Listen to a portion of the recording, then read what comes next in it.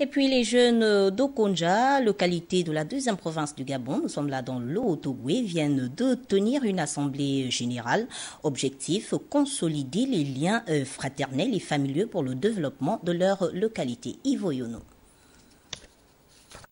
Assemblée générale constitutive, les jeunes de Mouniandi dans le Haut-Ogoué sont réunis ici pour asseoir une dynamique unitaire utile pour le renforcement de leurs liens. On constater qu'il y a beaucoup de problèmes au sein du canton, parmi lesquels euh, les désaccords, parmi lesquels les mésententes.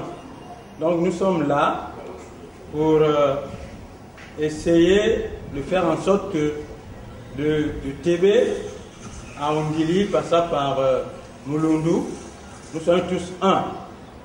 Que désormais, on ne parle plus de TB, que désormais, on ne parle plus de Ndjounou, que désormais, on ne parle plus de Longa ou de Djala ou de Mina, que l'on parle du canton Mouniandi.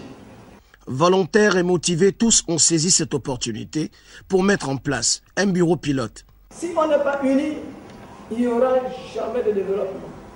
Ce qu'on fera au Diala, TB va se retirer et c'est plus bon. On va revenir dans les mêmes choses. Il faudrait qu'au Diala, comme TB, sache que tout le monde œuvre pour le canton Mouniandi. Tout le monde œuvre pour le canton Mouniandi.